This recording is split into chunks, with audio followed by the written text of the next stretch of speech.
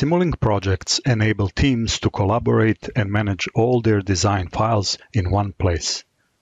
Creating a Simulink project is easy. You can convert any folder to a project by starting a simple process directly from the Simulink start page. Select the folder to project template, choose a folder that you would like to convert to a project, and all the files from the selected folder will automatically be added to a newly created Simulink project. The process will also guide you to optionally set up the paths,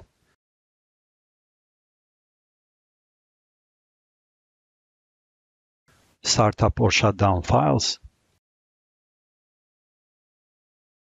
and just like that, your project is ready. It is easy to migrate any folder to a project and take advantage of many benefits of Simulink projects.